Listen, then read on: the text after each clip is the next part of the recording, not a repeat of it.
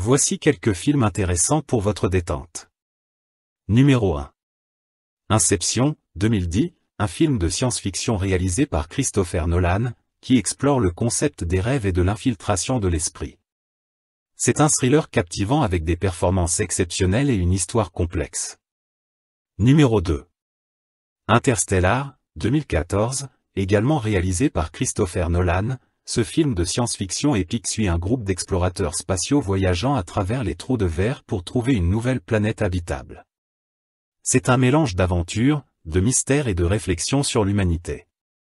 Numéro 3.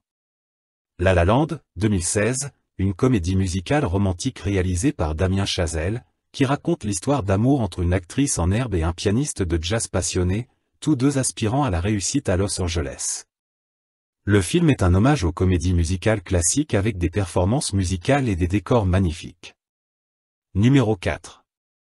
The Grand Budapest Hotel, 2014, une comédie excentrique réalisée par Wes Anderson, qui suit les aventures du concierge d'un célèbre hôtel européen et de son protégé.